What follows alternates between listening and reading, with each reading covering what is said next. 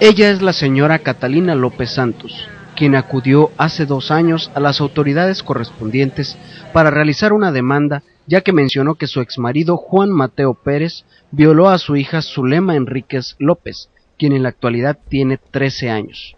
Por lo que al momento de enterarse de que fue detenido este presunto violador, acudió de inmediato para corroborar que fuese él, ya que manifestó que antes de su detención había sido acosada por este hombre.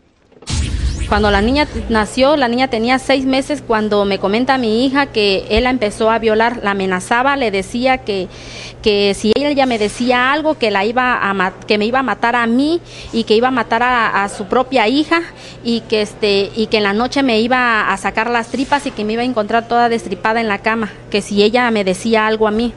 En el tiempo que él y yo quedamos separados, este, la niña se quedó a cargo de él. Él me quitó a la niña y, este, y él se quedó a cargo de, de, la niña. Hubo una ocasión que yo llegué a ver a la niña y la niña agarró y le jalaba su cabeza a, a, su parte de la niña, agarraba la niña su cabeza de él y le jalaba la cabeza a él a su parte de la niña. Entonces yo agarré y le dije a él, le digo, oye, le digo, ¿qué pasa? Le digo, ¿por qué este, la niña te hace eso? Este, me dice, no, dice, tú estás loca. Le digo, no, ¿cómo voy a estar loca? Le digo, ¿por qué te hace eso la niña? Me dice, no, dice, tú estás loca, me dice, estás toda pendeja, tú estás toda traumada. Con lágrimas en los ojos, la señora Catalina López mencionó el momento en el cual descubrió que Juan Mateo Pérez viola a su hija en su propia casa, a lo que asegura que este hombre tiene otras demandas en Tabasco escuché el ruido de la, de la puerta que dividía de la cocina a donde estábamos, donde dormíamos nosotros de los niños. Vi que él entró. Cuando él entró, yo este, empecé a quererme mover y no podía, ni podía hablar, ni moverme, ni nada. Cuando yo empecé a moverme, él agarró y se fue al baño, regresó, se acostó despacio y yo en ese momento agarré, agarré fuerza y me incliné y me paré. Fui a ver a mi hija. En el camino iba yo tratando de controlarme, porque si yo, ¿qué tal que si lo que estoy pensando no es cierto? Entonces ya fui, vi a mi hija y la destapé. Cuando yo la destapé a mi hija, mi hija tenía su blusa aquí y estaba desnuda y tenía semen en su pancita.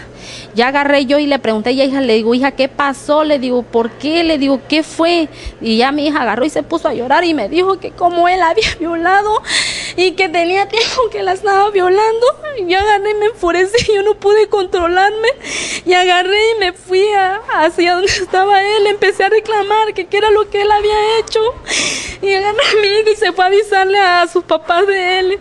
Y agarraron y vinieron sus papás de él y él le decía que no, que no era cierto, que que, lo que yo estaba diciendo era mentira. Le digo, ¿cómo va a ser mentira si mi hija me está diciendo, le digo, lo que le hiciste? Cabe señalar que este presunto violador fue detenido en el paso de lanchas por lo que ha sido enviado al Cerezo Duport Ostión de la ciudad de Coatzacoalcos, Veracruz. Si usted conoce a este hombre y ha sido víctima de sus hazañas, no lo dude y realice su denuncia correspondiente. Para TBS Noticias,